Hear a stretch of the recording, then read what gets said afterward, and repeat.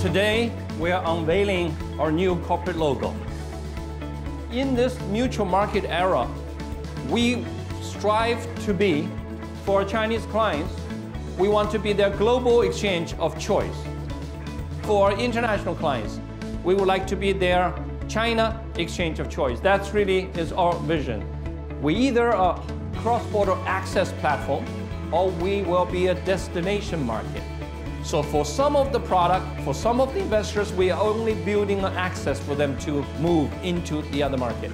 And for many other investors over time, we want to make sure that we have enough products in Hong Kong so that we become a mutual market, destination market, rather than only a pure access.